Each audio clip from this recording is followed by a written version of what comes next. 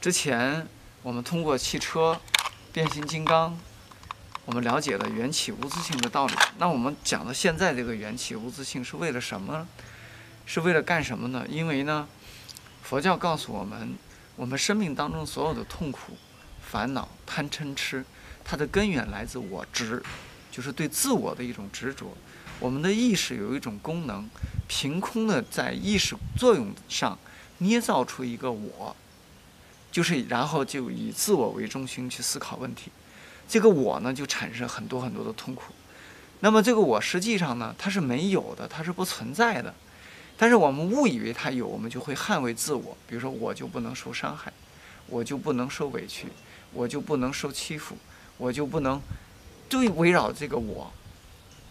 那么实际上，我包括我，我不肯认错，我我就要需要去满足我的种种的欲望。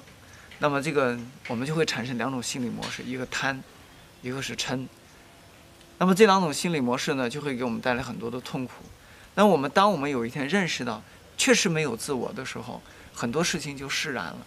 比如说，并没有一个我在受苦，并没有一个我在受委屈，并没有一个我在受伤害。我们为自我做的所有的辩护，其实都是毫无意义的。比如说，我们常常讲叫“文谤不变”，嗯，是非以不变为解脱。比如说，别人伤害我了，如果一个懂得这样一个无我道理的人呢，他就比较豁达，他就不会那样去斤斤计较。那么，不仅是他静止的这个汽车是无我的，人也是无我的。那么，它整个运作的过程，它也是按照因果规律缘起的运作的一个过程。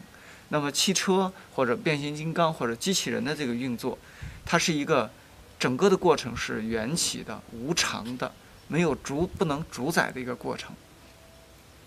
人也是一个缘起的、无常的、不能主宰的过程。